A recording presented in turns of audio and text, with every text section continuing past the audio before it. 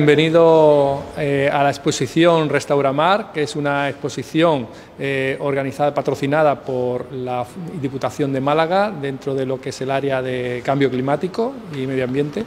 Y eh, la Fundación Aula del Mar Mediterráneo, la FAM, está gestionando todos los recorridos que esta exposición va a hacer a lo largo de toda la provincia de Málaga eligiendo una serie de municipios, entre ellos pues, el municipio de Nerja, ¿no? que entendemos que es eh, muy, un enclave eh, muy propio y muy ideal para este tipo de exposiciones y para que se pueda ver aquí pues, el patrimonio natural tan inmenso que tenemos.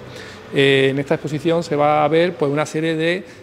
talleres de audiovisuales, mm, de, explicando un poco todo lo que es nuestra fauna, nuestra flora marina, eh, cómo le afecta el cambio climático y también otros tipos de amenazas y cómo nosotros podemos colaborar para protegerlos y mantenerlos. Y agradecer al Ayuntamiento de Nerja que nos haya acogido aquí en este eh, sitio tan espectacular que creo que le va a dar todavía mucho más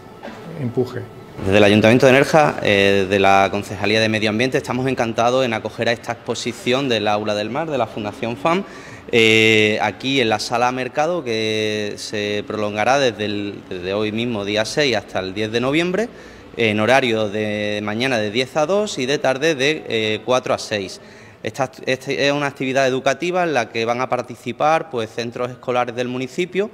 que por lo que me comentan pues todavía quedan huecos por si alguno se quiere apuntar y nada, eh, entendemos desde este ayuntamiento pues que estas actividades tienen un, alto valor educativo para la concienciación sobre el cuidado del medio ambiente.